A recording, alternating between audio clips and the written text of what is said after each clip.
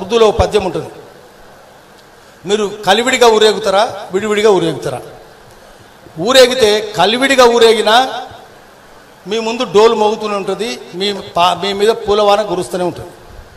మీ ముందు నృత్యం చేస్తూనే ఉంటారు డ్యాన్స్ చేసుకుంటూ పోతుంటారు ఊరేగింపు ముందు. కలివిడిగా ఊరేగిన విడివిడిగా ఊరేగినా కూడా మీ ముందు డ్యాన్స్ చేసుకుంటూ పోతూనే ఉంటారు మీ ముందు డోలు మోగుతూనే ఉంటుంది మీ మీద పూలవాన గురుస్తూనే ఉంటుంది. తేడా ఏంటో తెలుసా?